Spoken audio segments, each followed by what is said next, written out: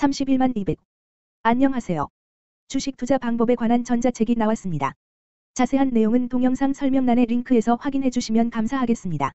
이번에 소개할 종목은 애니플러스입니다. 애니플러스, 은, 는 동사는 2009년 9월 8일 주식회사 애니플러스로 변경 등기하였음 동사는 2020년 1월 22일자를 합병 등기일로 미래에셋대우 기업인 수목적 2호와 합병하여 2020년 2월 7일 코스닥 시장에 상장함 동사는 뉴스 애니메이션을 핵심 콘텐츠로 하는 애너플러스 방송 사업을 주 사업으로 BOD 사업 사업, 극장판 애니메이션 배급 사업, 전시 이벤트 사업, 드라마 제작 사업 등 관련 사업 영역으로 다각화를 전개함.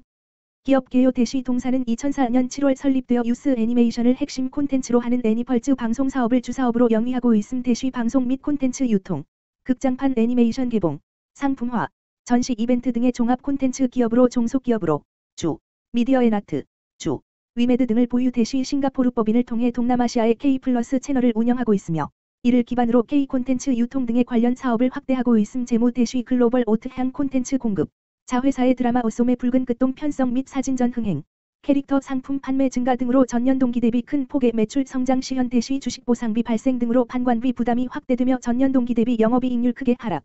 파생 상품 관련 금융수지 저하로 순이익은 적자 전환 대시 애니메이션 및 드라마, 전시 등 전 분야의 라인업 확대와 함께 종합굿즈 전문업체 로운 컴퍼니 C&C 인수를 통한 자체 콘텐츠 IP 상품화 등으로 매출 성장세 이어갈 전망.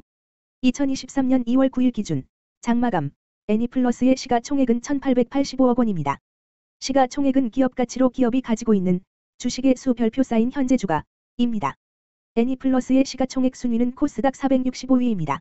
애니플러스의 상장 주식수는 4278만 9933주입니다. 애니플러스의 액면가는 100원이고 매매 단위는 한 주입니다. 애니플러스의 퍼은 9.97배이고 추정 퍼은 N/A배이며 동종업계 퍼은 39.32배의 수치를 보여주고 있습니다. 작년 말의 연간 실적을 보면 퍼은 7.42배를 보여주었으며 EPS는 701원을 보여주었고 BPS는 1610원을 보여주었으며 PBR은 3.23배를 보여주었습니다. EPS는 442원이고 추정 EPS는 N/A1입니다. PBR과 BPS는 각각 2.88배, 1531원이며 배당 수익률은 N/A% 사인입니다. 네이버 증권 기준 투자 의견은 5점 만점의 N/A이며 목표 주가는 N/A1입니다. 에러 발생